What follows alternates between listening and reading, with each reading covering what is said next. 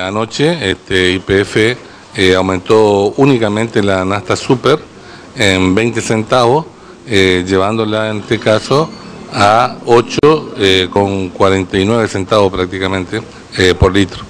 Aún con este aumento, cabe destacar de que sigue siendo todavía el combustible más, más barato, digamos, ¿no?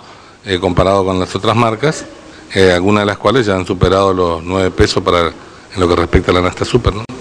¿Por qué se produjo este aumento? La, empresa no, no, ha informado a qué se debe, ¿no? pero bueno, es de suponer, como vienen siguiendo ya eh, un sendero de precio durante todo este año, ¿no es cierto?, que es una recomposición del, del precio del producto eh, en función de los valores este, reales y teniendo en cuenta la, la inflación, ¿no es cierto?, que hay en el país, o sea, si aumentan todas las otras cosas, el combustible viene de un periodo que estuvo rezagado durante mucho tiempo y ahora este, llama un poco la atención, digamos, esta secuencia de aumentos, pero la realidad es que se viene adecuando, ¿no es cierto?, este, a los valores de, todos los productos en general, ¿no?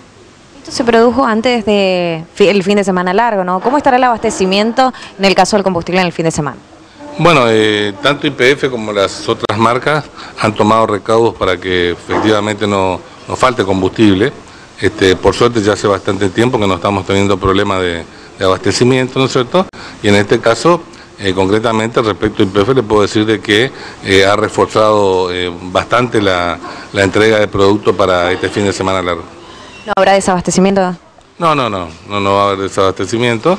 Este, todas las estaciones están bien abastecidas en este momento, así que no creo que haya ningún problema.